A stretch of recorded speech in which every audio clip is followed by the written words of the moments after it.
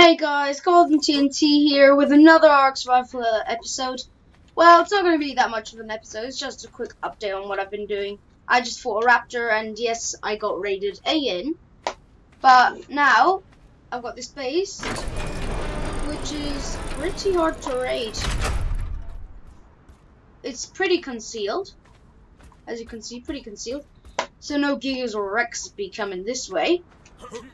Then also, when you're around here. You can see I've blocked off pretty much any entrance. You can still get through here with a flyer. And yeah, hmm. I will just quickly show around. Here's the mortar and, you know, the storage and stuff. Then here's my bed. And up here is the way up. Just with the little trapdoor up here where I can smell and stuff. There's gonna be Smithy here.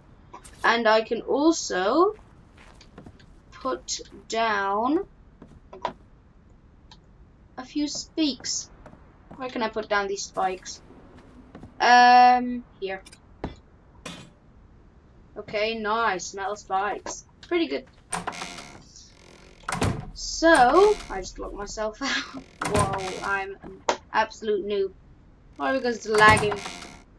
But, that was just really a quick Oh my. Are you annoying? And there's also this little way out here. Just like a little, a little escape route. And you can also store up flyers up here. But... Really? That's all that there's in this update. Okay. Explode on, guys. Bye.